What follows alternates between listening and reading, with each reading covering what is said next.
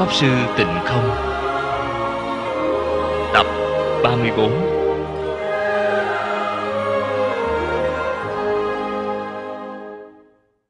Chào chư vị đồng tu, chào mọi người.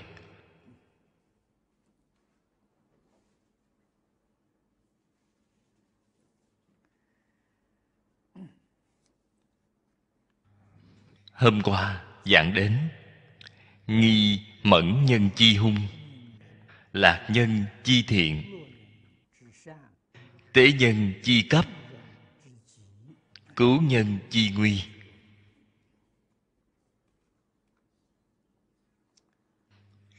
Hung tài nguy cấp.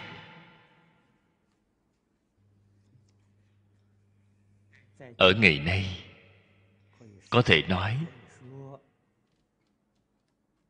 đã đạt đến cực điểm.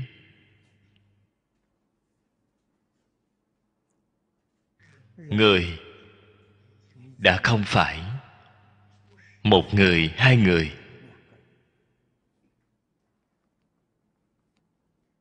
Cũng không phải một trăm người. Ngày nay, chúng ta nhìn thấy bốn câu nói này. Gần như là chỉ toàn bộ nhân loại trên địa cầu. Gặp phải tai nạn lớn.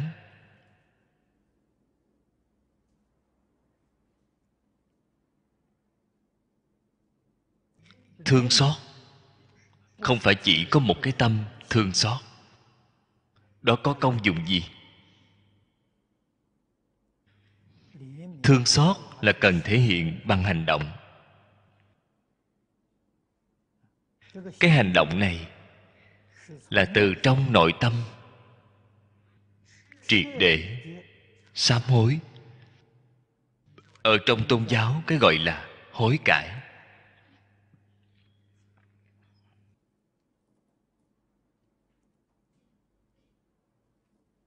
Đó mới là sanh khởi tâm, thương xót chân thật. Tai nạn lớn trên thế giới hình thành như thế nào vậy? Chúng ta ở trong giảng kinh. Đã giảng rất nhiều lần rồi.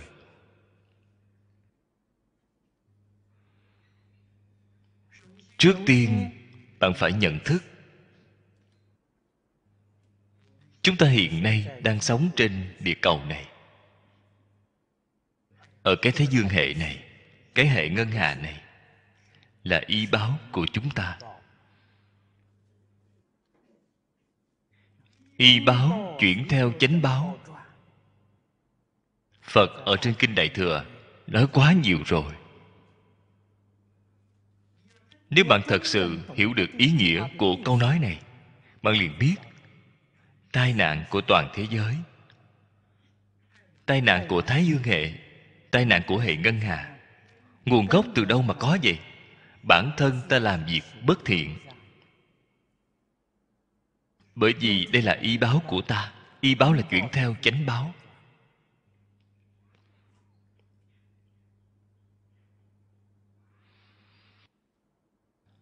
Chúng sanh không thể giải quyết nổi cái vấn đề này.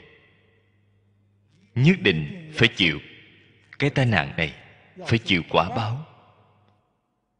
Nhận thức của họ sai rồi, cho rằng cái sự việc này không liên quan gì với ta. Những người này làm sai rồi, ta không có làm sai.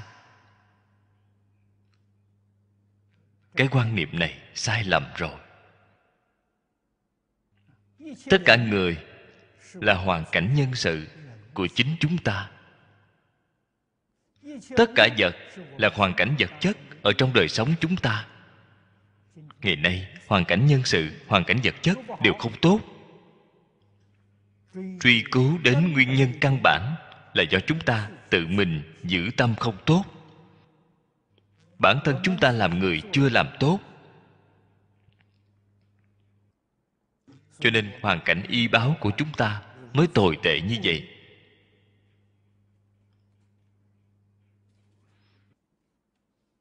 Đây là then chốt. Căn bản của tiêu tai miễn nạn cho nên tự mình phải nhận thức rõ ràng, tự mình phải biết quay đầu.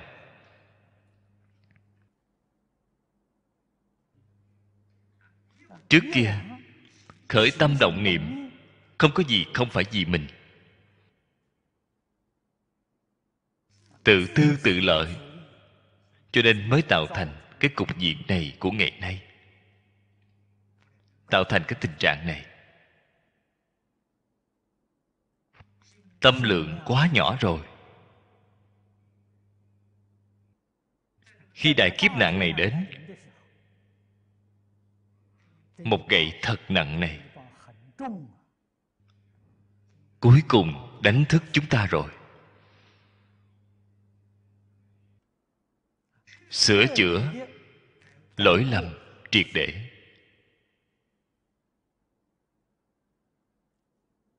Vì tất cả chúng sanh chịu khổ, chịu nạn.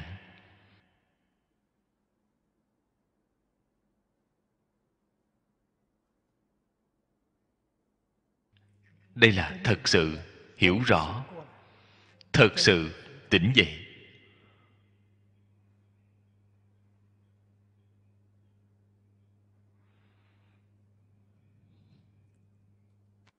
Kinh giáo đại thừa lời dạy của phật bồ tát.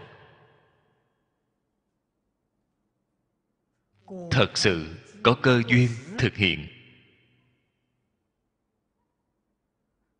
Chúng ta vào chỗ dầu sôi, lửa bỏng cũng không tiếc. Chúng ta phải đi làm. Những gì không liên quan với lời dạy của phật tuyệt đối không được làm. Đối với bản thân đời này, có lợi ích thật lớn, chúng ta cũng không cần.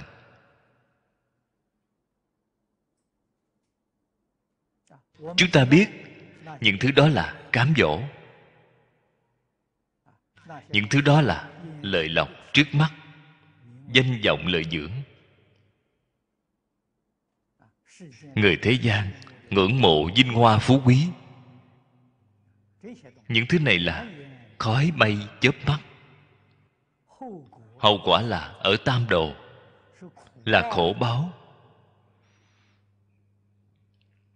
Khi mê mà không biết, khi giác ngộ, hiểu rất rõ ràng, hiểu rất minh bạch. Bản thân chúng ta giác ngộ rồi, sáng tỏ rồi, phải đem những đạo lý này, những sự thật này nói cho người có duyên biết. Nhà phật thường nói, phật không độ người không có duyên. Ai là người có duyên vậy? Họ chịu nghe. Họ có thể lý giải, có thể tiếp nhận, có thể y giáo phụng hành. Đây là người có duyên.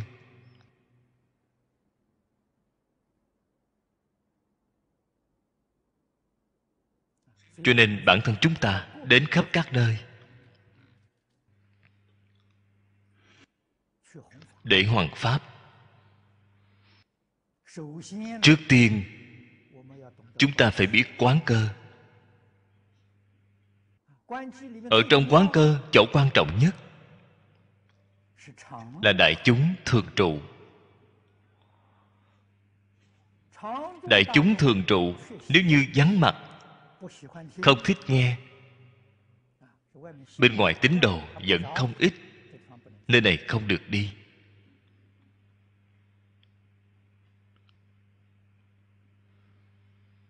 Đây là kết duyên cho các tín đồ. Thường trụ không có ý học phật. Thường trụ vẫn chạy theo tự tư tự lợi. Thường trụ vẫn chạy theo danh vọng lợi dưỡng. Không có xem phật pháp ra gì cả. Vì sao có thể đi được?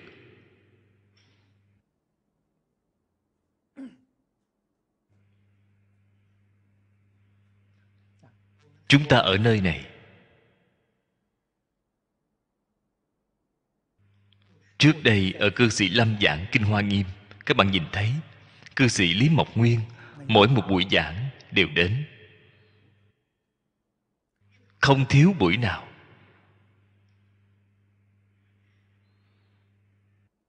Ngày nay có việc không đến, ông vẫn xin tôi nghỉ phép.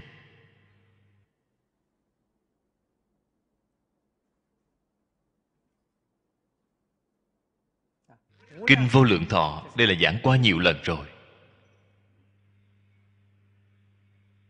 Ông ở nhà, nghe băng ghi hình.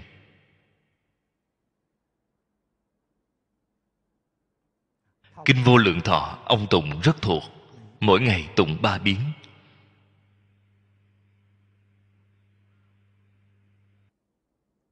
Ông nói với tôi, ông mỗi ngày chỉ ngủ hai giờ đồng hồ.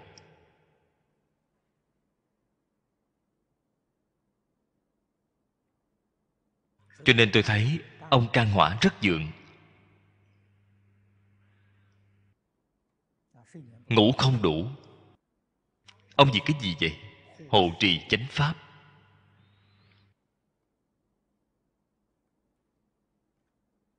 Hy vọng mọi người, các bạn có pháp duyên thù thắng. Ở nơi này học tập nghiêm túc. Nói tiếp huệ mạng phật. Tương lai hoàng pháp lợi sanh.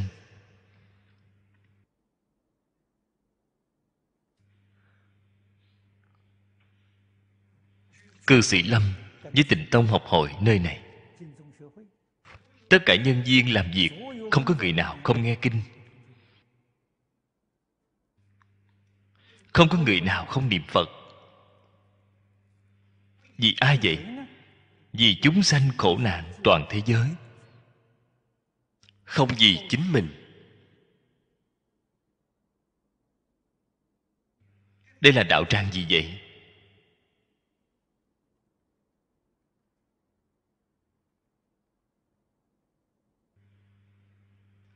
Có rất nhiều người, từ trung quốc đến những lão pháp sư này, đến bên này nhìn thấy rồi. Tán thán, đây là đạo tràng hàng đầu thế giới. Lời này là thật không?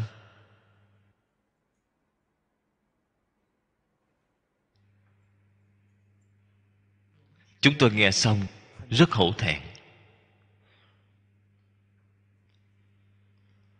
Chúng tôi làm vẫn chưa đủ tốt.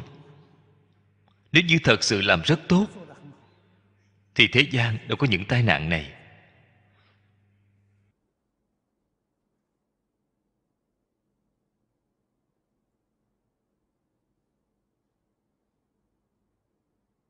Nói thật ra, rất hiếm có. Cư sĩ lý, lãnh đạo ở nơi đây. Có một bạn nhóm người thật sự phát tâm phối hợp giúp đỡ như vậy. Có thể nói toàn là người làm công ích. Một xu, một chút đãi ngộ cũng không nhận. Nhiều nhất chỉ ở cư sĩ lâm ăn một bữa cơm mà thôi. Tôi cũng là làm công ích. Mỗi người đều là làm công ích, ở đây không có đãi ngộ.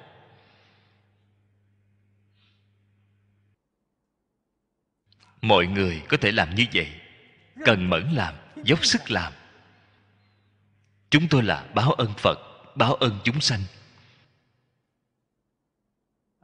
Thật sự làm được, trên đền bốn ân nặng, thì mới có thể dưới cứu khổ ba đường.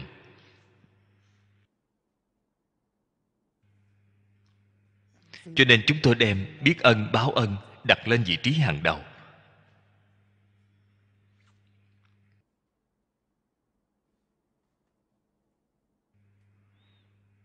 Có rất nhiều nơi muốn mời tôi.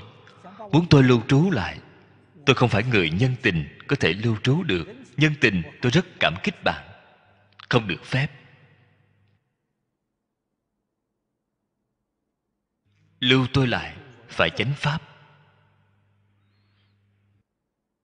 Nơi này làm là chánh pháp.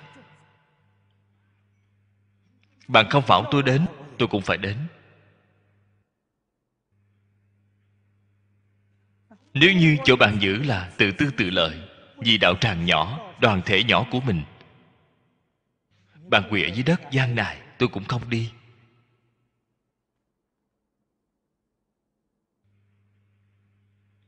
Tôi không có nhiều thời gian như vậy. Tôi cũng không có tinh thần nhiều như vậy.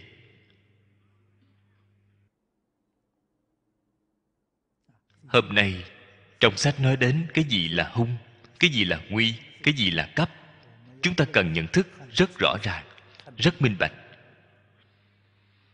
Đây không phải là hung tai nhỏ. Không phải nguy cấp nhẹ nhàng, chậm chạp. Là vô cùng nghiêm trọng.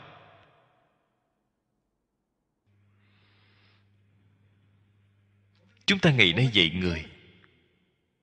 Hết lòng hết dạ dạy người. Có mấy người tin? Vậy người ta phải làm như thế nào? Như thế nào chính mình không làm được? Người ta nghe rồi sẽ có rất nhiều nghi vấn. Rất nhiều dấu hỏi đặt ra. Lời bạn nói là thật hay là giả? Thích ca mâu ni phật.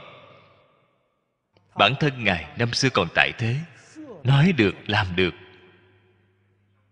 Nói thật ra, ngài là sau khi làm được rồi mới nói.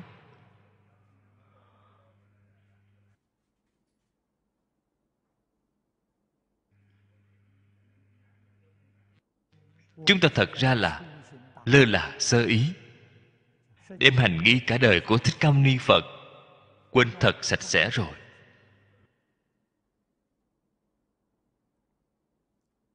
Hành nghi của ngài chính là tấm gương tốt của chúng ta, chính là hình mẫu của chúng ta.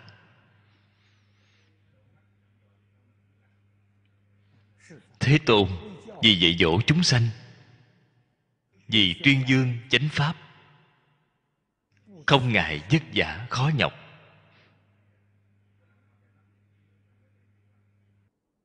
Phật quá vất vả rồi, phật quá mệt rồi, chúng ta ở trong kinh chưa từng nhìn thấy. Trong đại tạng giáo, loại từ này chưa từng thấy. Chúng ta ngày nay, sao có thể nói mệt được, sao có thể nói vất vả?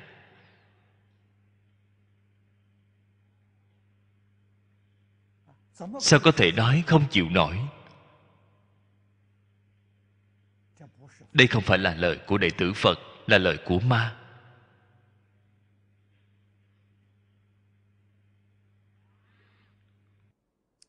Ở trong ma dương có những từ dựng này. Phật bồ tát không có những từ dựng này.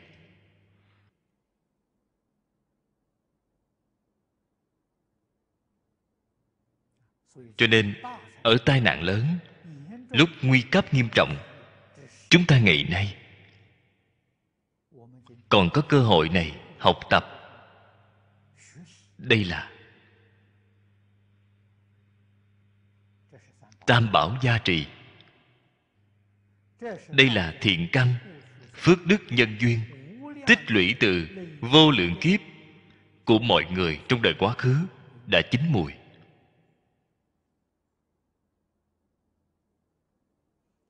Vì sao những chúng sanh khổ nạn này? Làm sao được độ? Phải dựa vào các bạn.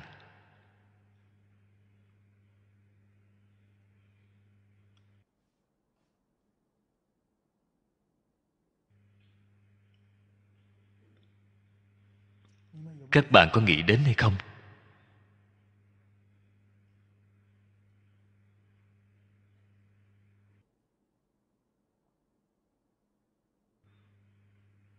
Nếu như nghĩ đến sự việc này, thì sao có thể không nỗ lực? Sao có thể không quyết tâm cố gắng? Có lẽ các đồng tu muốn hỏi, chúng tôi thiện căn phước đức rất mỏng, trí tuệ rất ít. Chúng tôi có thể làm được không? Phật ở trên kinh nói cho chúng ta biết tất cả chúng sanh thì căn phước đức, trí tuệ cùng với như lai không hai, không khác.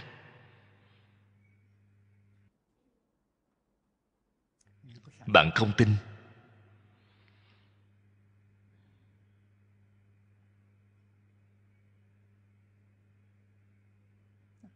nhưng mà hiện nay chưa có trí tuệ, hiện nay chưa có trí tuệ là phiền não của bạn che đậy kín.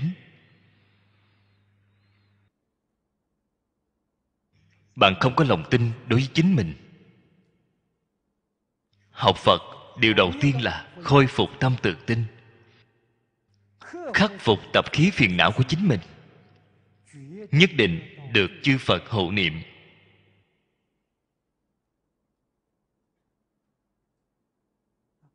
Phước báo không đủ tự có long thiên thiện thần phù hộ bạn. Gia trì bạn tuyệt đối không cầu người. Thế gian, người phước báo lớn đi nữa, cũng không được phép mở miệng xin họ một xu nào. Đó là việc của họ.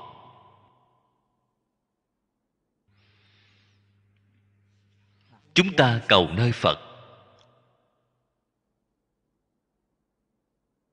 Cầu nơi phật là chánh lý, chánh pháp. Đây là đại sư chương gia năm xưa dạy cho tôi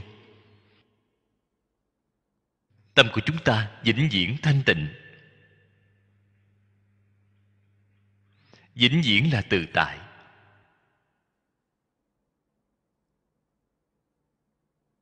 Phật dạy người, phá mê khai ngộ, đoạn ác tu thiện, chuyển phàm thành thánh. Cái mà chúng ta học là học ba sự việc này.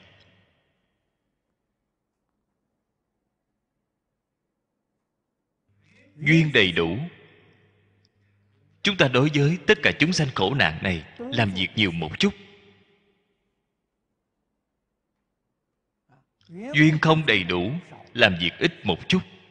Không có duyên, không làm. Thì đâu có thể cưỡng cầu được.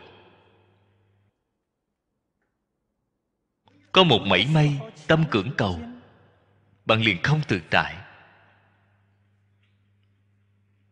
Hay nói cách khác, bạn liền không có trí tuệ rồi.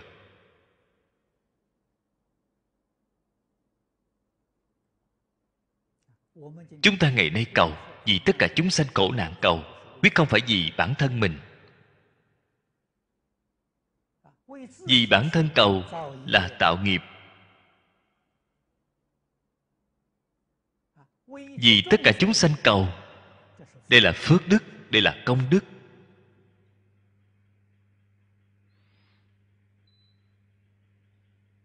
Học phật đã học nhiều năm như vậy, ngay cả một chút đạo lý này vẫn không hiểu sao.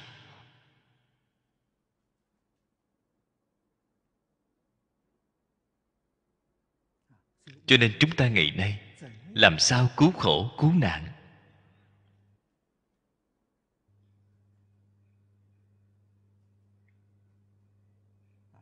Đó chính là thật sự quay đầu.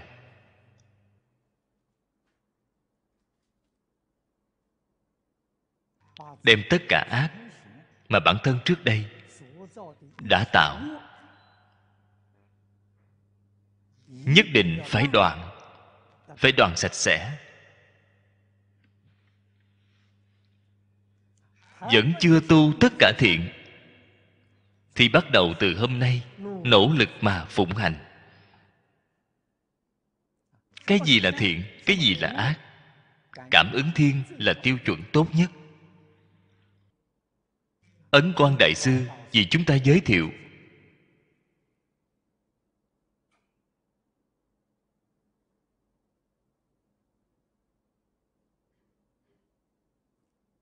Phật đã nói rất nhiều tiêu chuẩn, tản mạn trong kinh luận đại thừa. Không dễ dàng đọc tụng. Cảm ứng thiên hơn một ngàn chữ này, nó đem thiện ác tập trung ở trong đây.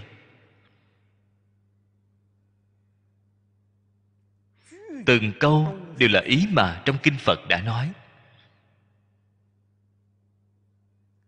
Cho nên bộ sách này chính là kinh phật.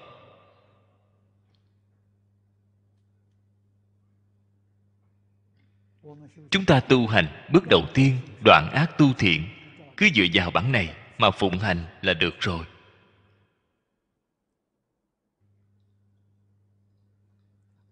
Chuyển mê thành ngộ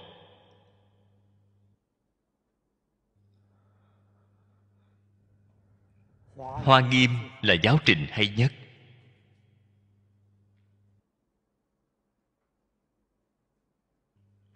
bát nhã cũng là giáo trình tốt nhất. Chuyển phàm thành thánh, kinh vô lượng thọ là giáo trình tốt nhất.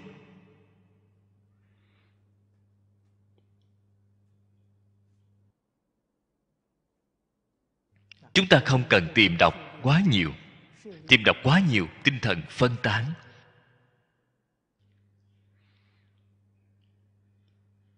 Còn phải tốn biết bao nhiêu thời gian? Ở trong phật pháp, nắm lấy cương lĩnh trọng yếu. Hiểu được một câu thì làm được một câu.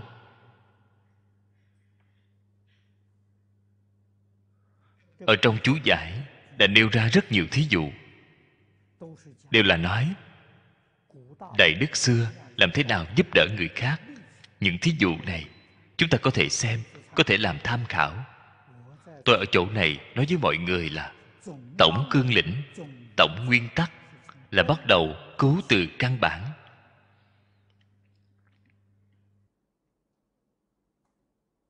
Ở trong pháp căn bản, y báo chuyển theo chánh báo đây chắc chắn là chân tướng sự thật. Tất cả pháp từ tâm tưởng sanh.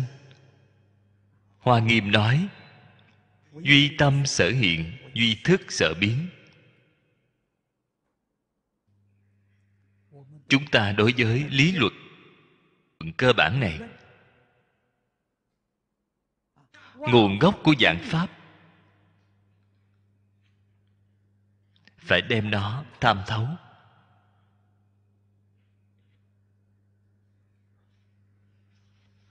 Chúng ta sẽ biết làm như thế nào. Chúng ta cũng có tính tâm để làm. Chân tính nguyện thiết. Thì sao không thể chuyển cảnh giới được?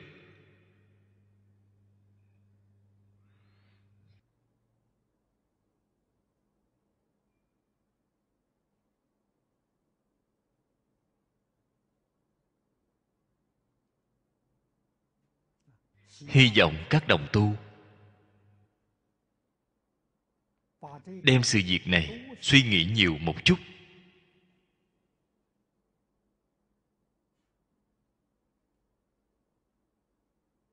Quan sát thể hội thật nhiều. Ở trong bốn câu này, có một câu, lạc nhân chi thiện. Cái gì là thiện? Cũng phải đem nó nhận thức rõ ràng.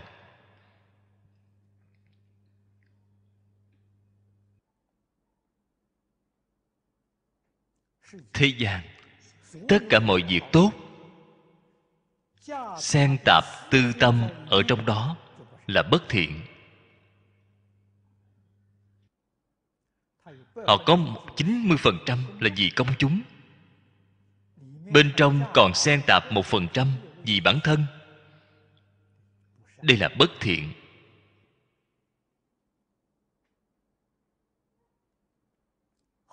Hoàn toàn không có tư tâm. Đó gọi là thuần thiện. Chúng ta phải đem tiêu chuẩn nâng đến cái cảnh giới này.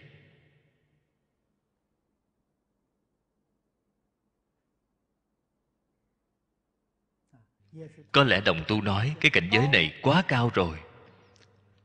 Người thế gian bình thường không thể làm được. Tôi cũng hiểu. Bản thân chúng ta phải nâng cao đến cái cảnh giới này. Yêu cầu người khác là không nên rồi. Yêu cầu bản thân phải thuần thiện.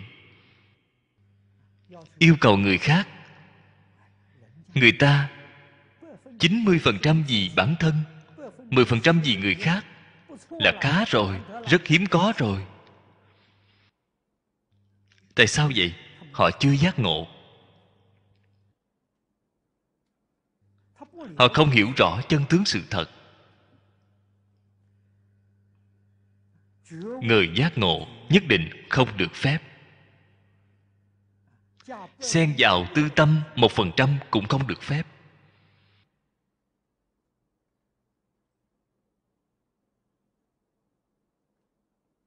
Chúng ta ở nơi đây hàng ngày giảng, hàng ngày khuyên. Hy vọng các vị được một chút tỉnh ngộ trở lại. Khi khuyên giống như tỉnh rồi, hiểu rõ rồi, chúng ta rời khỏi cái bàn này, lại hồ đồ rồi, lại mê rồi.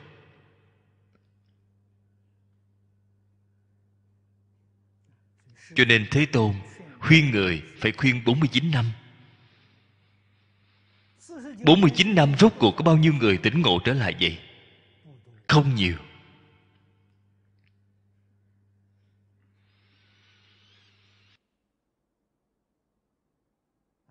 Thật sự tỉnh ngộ trở lại, số ít người, số ít người này chính là chúng sanh, căn cơ chín mùi. Người vẫn chưa có quay đầu, đó là chưa chín mùi chưa chín mùi, bảo những người chín mùi đó tiếp tục hãy giúp đỡ họ. Chánh pháp trụ lâu, đời đời đều có truyền nhân.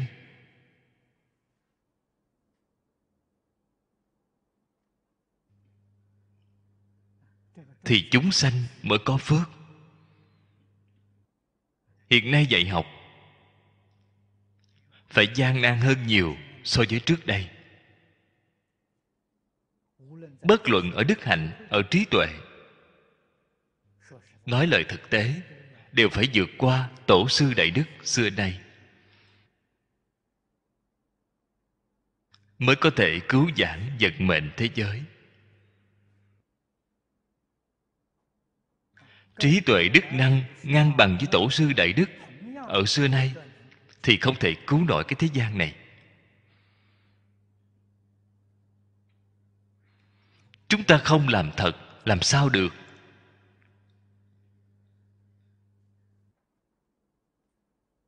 Không làm thật, không những không thể giúp được người khác, mà cứu chính mình cũng không cứu nổi.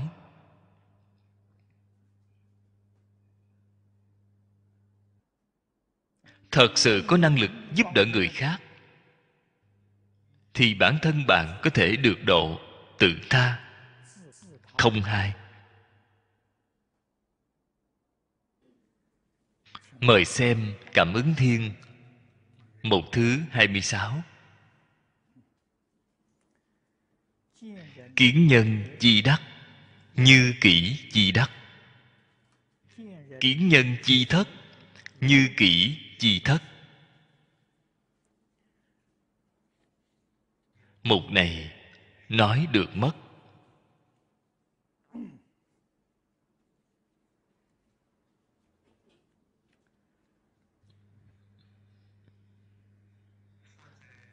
Ở trên kinh phật nói cho chúng ta biết, được mất không phải chân thật,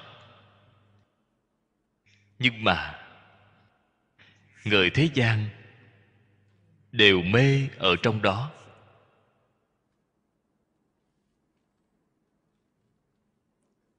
Do đó tạo ra biết bao nhiêu là tội nghiệp.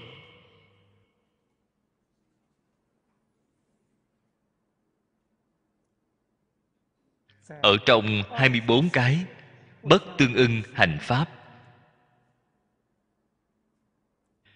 thì được mất là xếp vào điều thứ nhất. Có thể thấy, chúng sanh đối với vấn đề này là mê sâu biết bao, nghiêm trọng biết bao.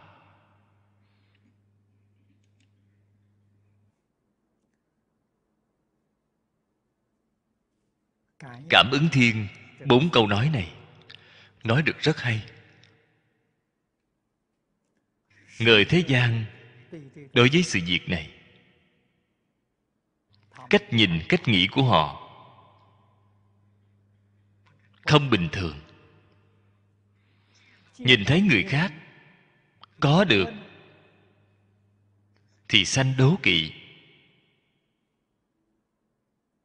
Nhìn thấy người khác bị mất đi liền sanh tâm hoa nghĩ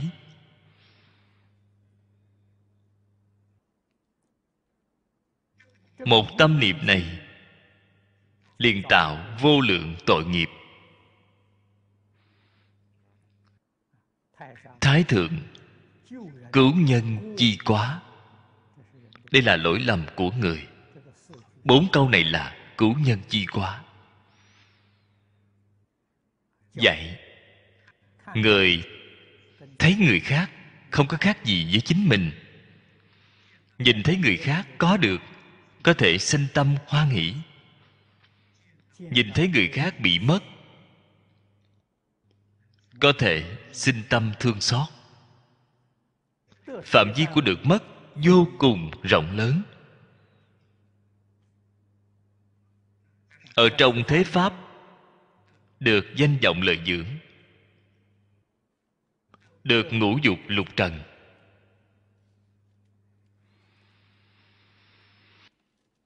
Ở trong phật pháp, được thiền định được giác ngộ, được chứng quả. Pháp thế xuất thế đều bao gồm ở trong đó.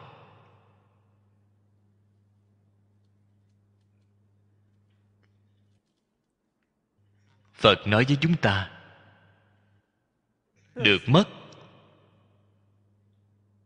cũng là quan hệ của nhân quả không có gieo nhân thì chắc chắn không thể có được.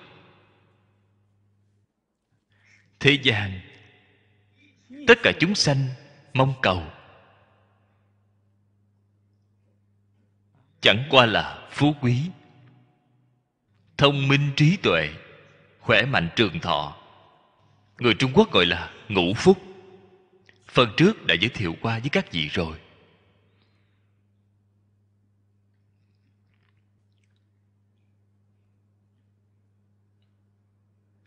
Đều là có nghiệp nhân. Cho nên gieo nhân thiện, được quả thiện. Gieo nhân bất thiện mà mong cầu được quả thiện, thì đâu có cái đạo lý này. Ở trong kinh phật thường nói, không có chuyện đó. Chúng ta hy vọng muốn được điều gì? Thì phải cố gắng tạo nhân.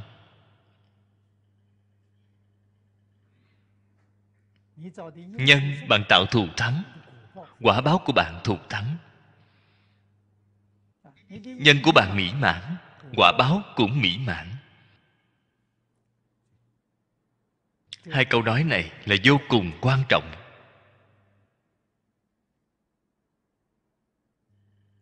Ở trong hai câu nói này chúng ta có thể nhìn thấy, quyết định không có tâm đố kỵ. Không những không có tâm đố kỵ, mà còn có tâm tùy hỷ. Tâm tùy hỷ là pháp bồ tát. Cái tâm mà bồ tát phổ hiện tu là hằng thuận chúng sanh tùy hỷ công đức. Đại hạnh của bồ tát. Ở trong đồng tu học phật của chúng ta, luôn luôn lơ là. Bỏ lỡ cái lợi lớn này trước mắt.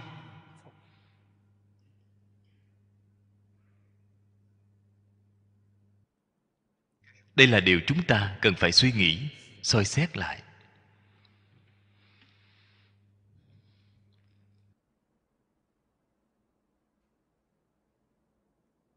Đồng tu học phật đều biết phải đoạn ác, phải hành thiện. Nhưng mà thiện luôn luôn không thể thành tựu. Ác hàng ngày vẫn tiếp tục đang tạo. Đặc biệt là khẩu nghiệp.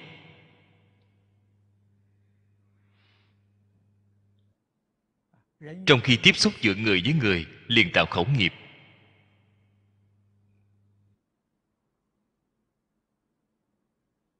Phê bình, thị phi, được mất của người khác. Sự phê bình của bạn có chính xác hay không? Cho dù là chính xác, là sự thật, cũng không nên nói.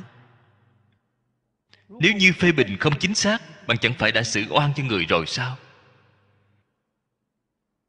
Cái tội nghiệp mà xử oan cho người là rất nặng. Nếu như phê bình của bạn không có ảnh hưởng gì đối với xã hội, thì tội lỗi của bạn cũng nhỏ. Nếu như có ảnh hưởng rất lớn đối với xã hội, ảnh hưởng không tốt, thì tội lỗi của bạn thật lớn rồi. Nếu như bạn phỉ bán tam bảo, khiến tất cả tính chúng thối thất tâm đạo. Ở trong kinh phát khởi bồ tát thù thắng chí nhạo, các vị thử xem sẽ biết. Đọa địa ngục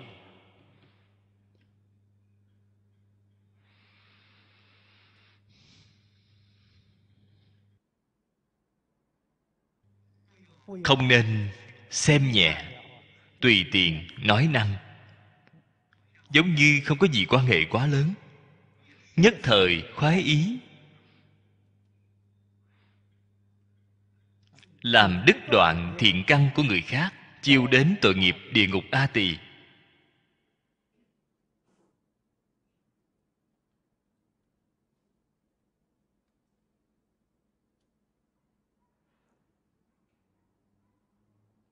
Làm những việc này.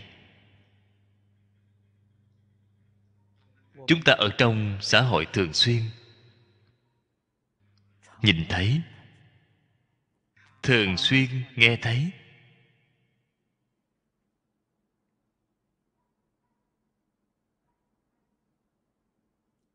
Phật bồ tát xem thấy. Rất đau lòng. Rất thương tiếc. Đúng là, trong kinh gọi là kẻ đáng thương xót. Tại sao tạo cái sự việc này vậy? Nghe tin đồn nhảm.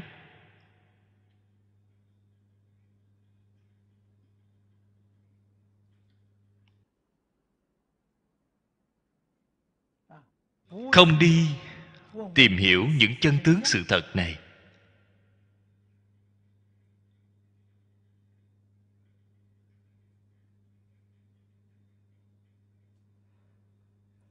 Tôi trong đời này, những sự việc này gặp phải rất nhiều. Tôi có một nguyên tắc. Việc gì không liên quan với tôi, thì không quan tâm. Không có cần thiết phải để tâm đến. Cười xòa là xong. Cũng không nên để ở trong lòng. Để ở trong lòng cũng là tội nghiệp. Hy vọng tâm của mình thanh tịnh. Hy vọng tâm của mình thuần thiện một mảy may ác niệm cũng không nên để ở trong tâm, hay đây gọi là giữ tâm tốt. Bạn đem những thứ lộn xộn, rác rưởi thị phi nhân ngã này để ở trong tâm bạn, tâm của bạn liền bất thiện, tâm của bạn liền không tốt rồi. Nếu như những truyền thuyết này có quan hệ với bản thân, với đại chúng chúng ta nhất định phải điều tra chứng minh, đi điều tra một chút, chứng minh một chút có phải là sự thật hay không?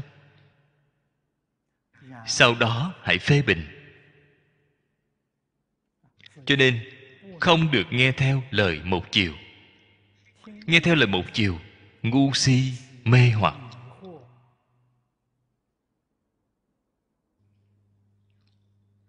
Nhất là người làm lãnh đạo.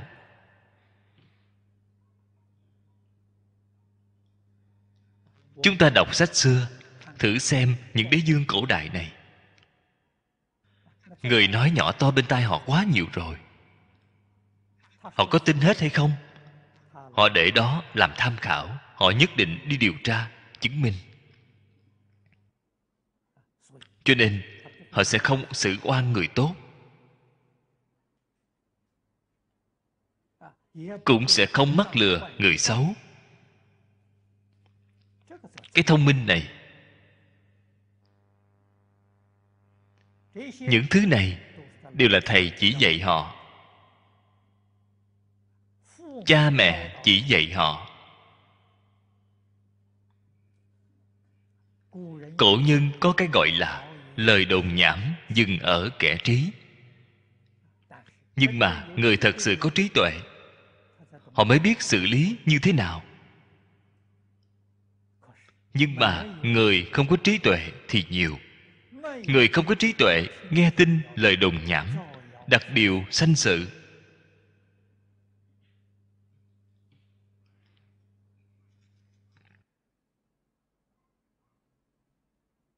Hiện nay cái thế gian này, người có trí tuệ quá ít quá ít rồi.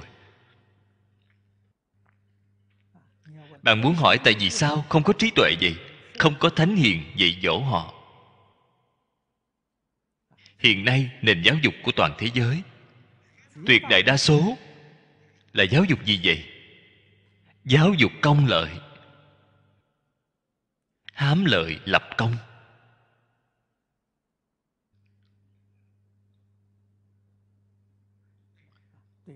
Đối với danh vọng lợi dưỡng ngũ dục lục trần, giáo dục cạnh tranh chỉ cần có cái ý nghĩ cạnh tranh này, thì chắc chắn sẽ làm cái việc mà tổn người lợi mình. Làm việc tổn hại thiên lý. Đây là giáo dục hiện đại. Giáo dục hiện đại, nói lời hơi khó nghe. Là tăng trưởng tâm luân hồi, giúp đỡ chúng sanh tạo nghiệp luân hồi, là làm cái việc này. Người học phật tuy nhiều, nhưng được mấy người thật sự trên kinh điển chịu nghiên cứu, chịu thảo luận, cần mẫn mà học tập.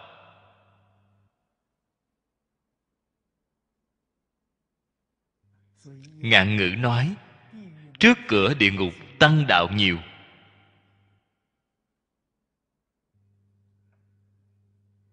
Cái tội lỗi này là quá nặng quá nặng. Lấy cái bản hiệu thánh hiền. Vẫn tạo nghiệp luân hồi như xưa. Cho nên họ đọa sẽ rất nặng. Họ đọa địa ngục a tỳ.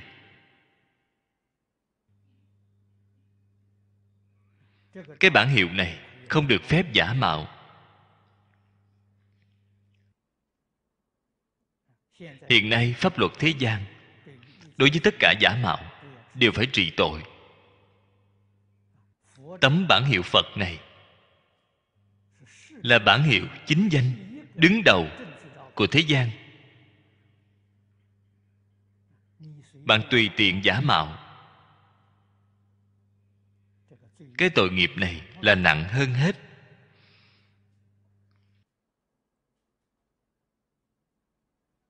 Chúng ta ngày nay đã nắm tấm bản hiệu này, thì phải y giáo phụng hành. Chăm chỉ học tập theo phật bồ tát. Tóm lại phải học cho giống mấy phần. Hoàn toàn không giống là có tội lỗi. Không được phép nói, tôi không có tạo tội nghiệp, tôi không có hại người. Không có hại người, nhưng cầm đến tấm bản hiệu này, không có y giáo phụng hành, là tạo tội nghiệp rồi. Tội nghiệp gì vậy? Đem hình tượng phật pháp phá hoại đi. Chính là cái tội danh như vậy, cái tội danh này là đảm đương không nổi rồi.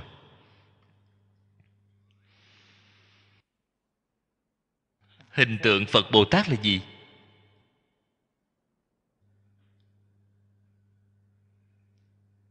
Chúng ta ngày nay khởi cái tâm gì, động cái ý nghĩ gì, làm sự việc gì?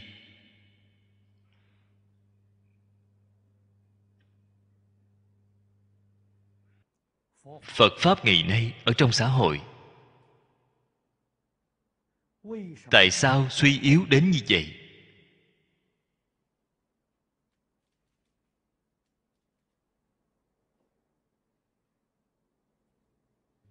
Chúng ta đọc sách xưa.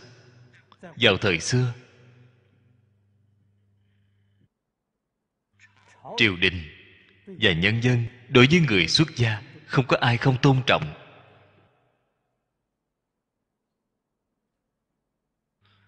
Xã hội hiện nay xem thường đối với người xuất gia. Nguyên nhân ở chỗ nào vậy? Vào thời xưa, người xuất gia học phật, giống phật bồ tát. Cho nên mọi người tôn trọng, mọi người kính ngưỡng.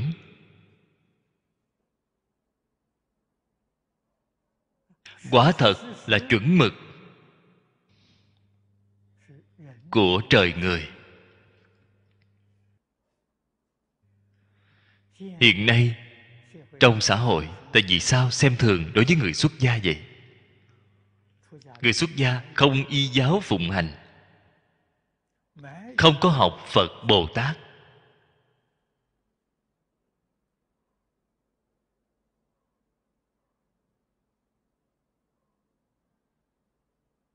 Học tập theo ai vậy? Lời này chúng tôi không cần phải nói.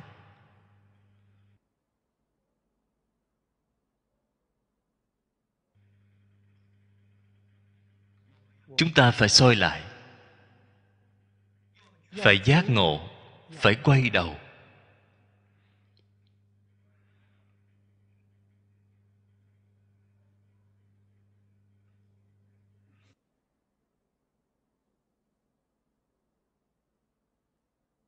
Đối tượng của học tập nhất định phải làm cho rõ ràng, làm cho minh bạch.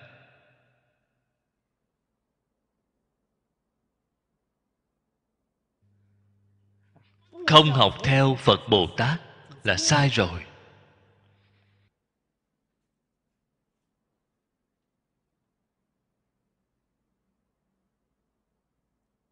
Cao tăng đại đức là điển hình của chúng ta.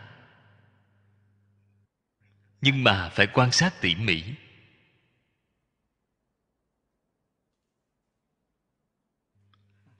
Người nổi tiếng địa vị cao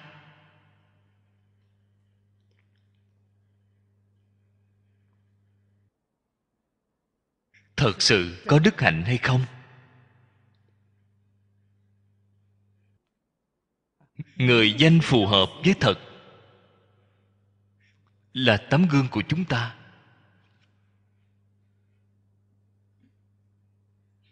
Chúng ta cần phải học tập theo họ. Khi tôi mới học phật, lão cư sĩ lý bỉnh nam tiến cử ấn quan pháp sư. Bảo tôi học tập theo ấn quan pháp sư. Cao tăng đại đức cùng thời với ấn quan đại sư quá nhiều, tại sao thầy không giới thiệu người khác?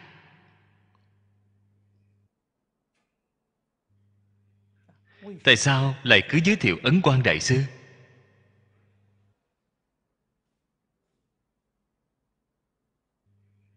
Đạo lý là ở trong đây. Nỗi khổ tâm ở trong đây. Chúng ta có biết hay không?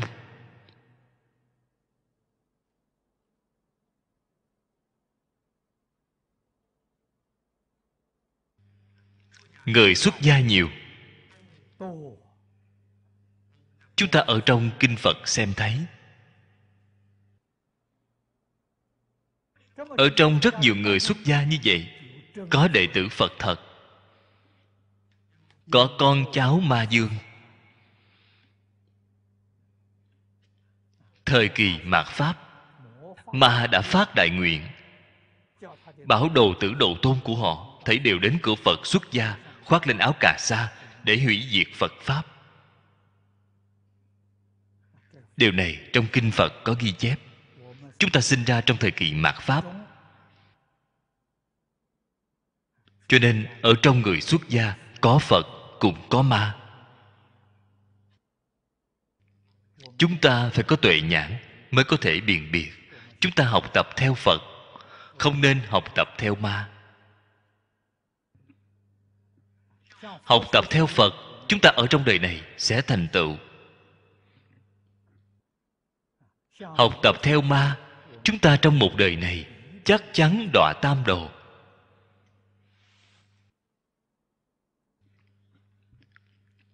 Lợi hại ngay chính mình. Làm sao có thể không biết? Bốn câu nói này, chúng ta phải nắm lấy khắc ghi trong lòng. Phải thường xuyên nhớ kỹ.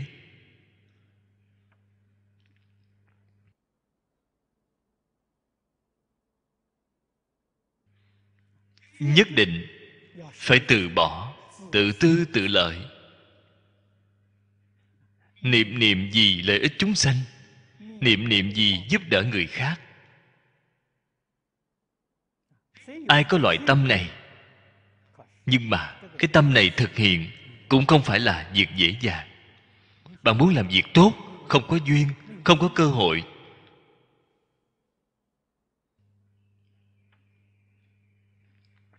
duyên không đủ. Luôn có biết bao nhiêu người chướng ngại bạn. Không để bạn làm việc tốt, không hy vọng bạn thành tựu một thiện hạnh. Nghĩ đủ mọi cách để ngăn trở.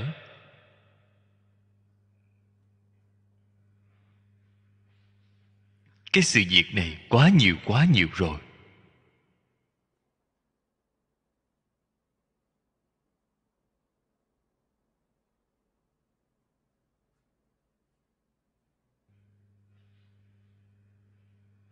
Từ đó cho thấy duyên là vô cùng quan trọng. Phải rộng kết thiện duyên với tất cả chúng sanh. Ở trong đời này làm không thành, còn có đời sau. Bồ tát độ chúng sanh đời đời kiếp kiếp vĩnh viễn không nghỉ ngơi.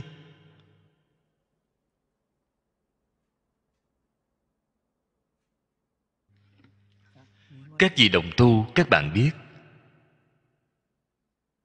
Lần trước, tôi là thành tâm thành ý, muốn giúp người úc châu xây một viện dưỡng lão. Thì bị người phá hoại.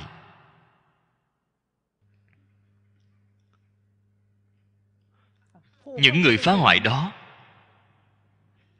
họ có thể làm việc tốt hay không?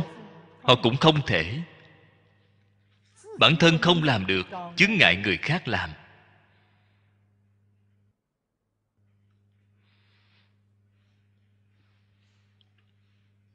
Bình luận thị phi của một người không dễ dàng. Tương đối không dễ dàng.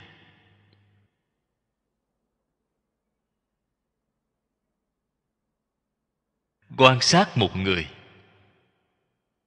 Trước sau trái phải mỗi mặt thấy rõ ràng. Vẫn không dám đưa ra quyết đoán. Người thời xưa nói rất hay, luận định sau khi đầy nắp quan tài. Mới có thể bình luận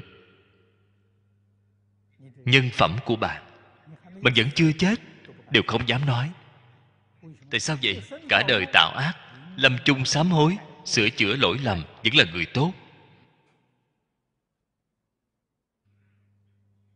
Người như vậy niệm phật vẫn có thể giảng sanh, vẫn có thể làm phật. Cho nên quay đầu là bờ. Chết rồi cũng không thể quay đầu. Đó liền đoán định họ là người bất thiện.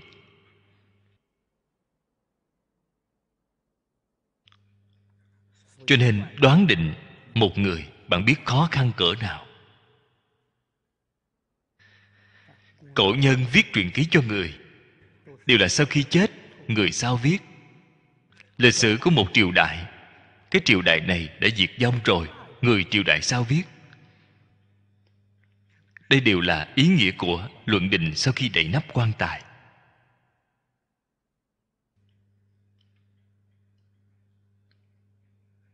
Chúng ta chướng ngại người khác hành thiện. Quả báo là người khác chướng ngại chúng ta hành thiện. Nhân duyên quả báo không mảy may sai chạy, nhất là ở hiện đại cái xã hội này. Quá rõ ràng rồi, quá nhanh rồi.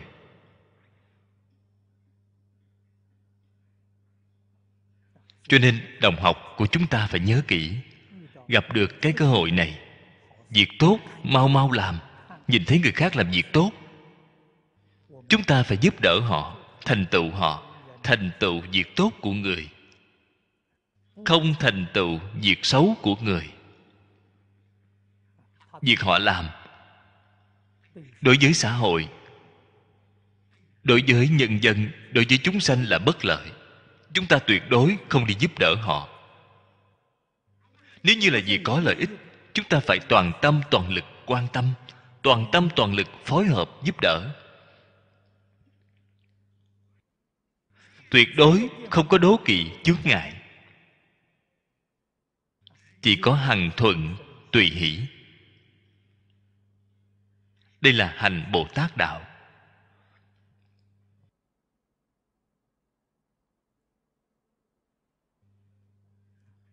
Cho nên, quy kết đến cuối cùng nhất định phải có trí tuệ chân thật. Quyết không được xen tạp, có cái tình kiến ở bên trong. Tình kiến là si mê.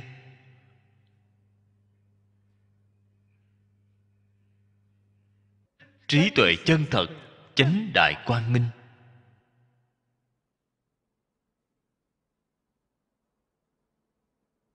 Đây là điều chúng ta cần phải học tập.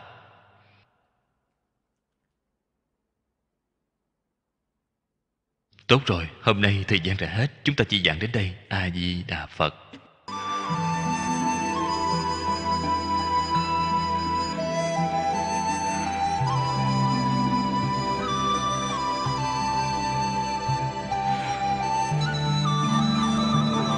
Cẩn dịch, viên đạn cư sĩ vòng tay cư sĩ vòng tay cư sĩ a gmail com.